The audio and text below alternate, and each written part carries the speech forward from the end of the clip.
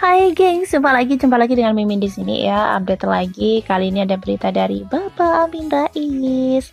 Siapa yang udah kangen sama Bapak Amin Rais? Sudah lama menghilang kan ya? Kali ini Bapak Amin Rais menyampaikan apa ya gitu sampai ya, keluar lagi kita update tentang beliau. Nah, Kali ini beliau ya kita tunggu-tunggu gimana sih pendapat Bapak Amin Rais atau reaksi Bapak Amin Rais ketika mengetahui bahwa Prabowo masuk menjadi kabinet dari Bapak Jokowi. Apakah beliau merestui atau justru menolak? Uh, atau bahkan mengutuk? nah ini ulasannya yang bakal Mimin sampaikan kepada kalian, oke? Okay? Gengs Presiden Joko Widodo atau Jokowi telah mengumumkan jajaran kabinetnya yang baru seperti yang kita tahu. Yang cukup menghebohkan adalah masuknya Bapak Prabowo Subianto dalam jajaran pembantu Jokowi tersebut. Dan lama tak terdengar bagaimana reaksi Ketua Dewan Kehormatan Partai Amanat Nasional atau PAN, Amin Rais terkait susunan kabinet Jokowi yang baru tersebut.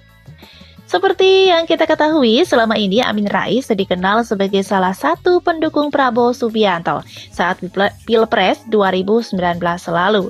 Ia bahkan kerap melayangkan serangan frontal terhadap Jokowi selaku rival Prabowo di Pilpres 2019 tersebut. Dilansir dari kantor berita Antara, Amin Rais akhirnya buka suara dan ia mengaku untuk sementara masih menahan diri melontarkan kritik terhadap Kabinet Jokowi Jilid 2 atau Kabinet Indonesia Maju.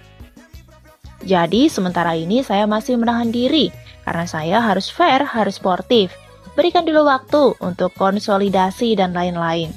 Kalau ternyata sudah enam bulan jebulnya tidak bisa apa-apa, nanti kita buat perhitungan, kata Amin sesuai seusai menjadi pembicara dalam kajian dengan tema Islam dan Komunis. Gengs lebih lanjut, menurut Amin Rais, Kabinet Indonesia Maju tidak perlu buru-buru dikritik.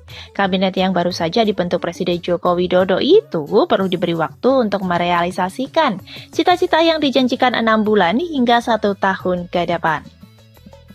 Jangan belum apa-apa ini, atau dianggap kabinet yang tidak profesional, kabinet carut marut, kabinet yang membuat banyak problem, tidak nendang, dan lain-lain, kata dia. Kita tunggu saja waktunya. Namun, apabila setelah batas waktu tersebut ternyata tidak kunjung menunjukkan mutu sesuai cita-cita yang dijanjikan, ya maka perlu dikritik, kata Amin Rais lebih lanjut. Kalau jelas tidak bermutu, tidak sesuai cita-cita yang dijanjikan, maka mengapa tidak lantas kita mengambil peran yang lebih nyata lagi, supaya dijewer kalau sampai tidak uh, sesuai dengan harapan. Oh gitu. Jadi intinya masih mengamati nih, gengs. Bapak Amin Rais masih mengamati apakah nanti kinerja Bapak Prabowo dan menteri-menteri dari Jokowi yang lainnya benar-benar sesuai dengan keinginannya. Aduh Mimin ya.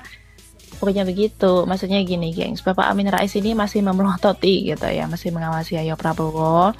Banyak mana janji-janji kamu gitu kepada kita yang sudah mendukung. Jika tidak sesuai, awas kau ya. Oke, okay, dan dilanjut, eh, lebih lanjut geng, sementara itu terkait masuknya Prabowo Subianto dalam Kabinet Indonesia Maju, Amin mengaku tidak merestui juga tidak menentangnya. Ya, buah semelakama dong.